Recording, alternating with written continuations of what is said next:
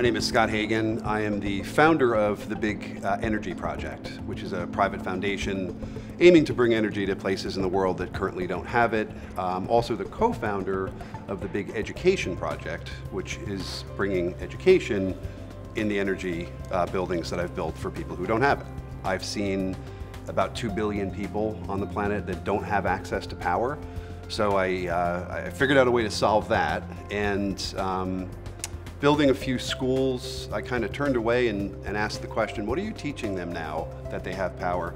Aimed towards refugees. I did some research. I, I really figured it wasn't very hard to uh, build a portable power plant, in essence, and um, had the money to do some tinkering around, got it built, put it in two containers, shipped it overseas, and now it's a school uh, that, that refugees use as a stepping stone before they get to the country that they're uh, that they're heading to.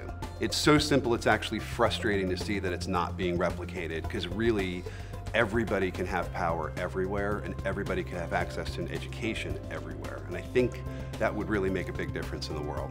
So I think what TED's done for me, it's been four years um, of coming to the conference and people seek each other out. So if I'm looking for someone that's in the education sector to assist, I just type education in and there's people and I can say, hey, would you like to help me building curriculum for the Maasai tribe in Tanzania? And I, and I get a response that says, yeah, you know, I actually know someone. If your aim is to give back or to help, um, there is no better conference than TED because that's the majority of the people that attend.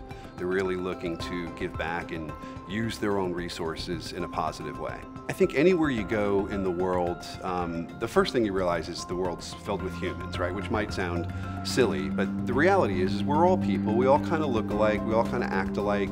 If you don't speak the language, one of the most amazing things about travel is a smile or pointing you know, get you a lot of places. Uh, you get to learn so much about different people and their cultures.